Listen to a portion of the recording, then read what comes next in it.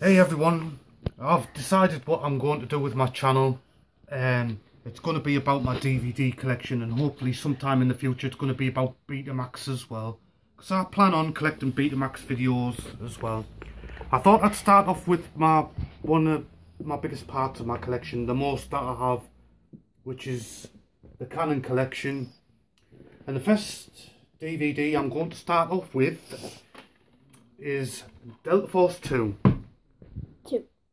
Two. the Force 2. And there's the front, there's the spine, and there's the back.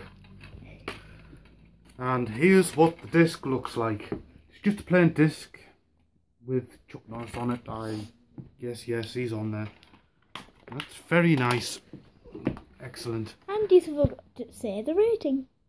Nobody cares about the rating. Nobody cares. You liar. You liar. I'm lying, am I? Yes. Thumbs It's rated 18. thumbs up this video if he thinks he's if you think he's lying.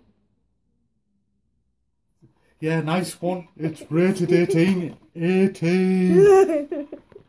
That-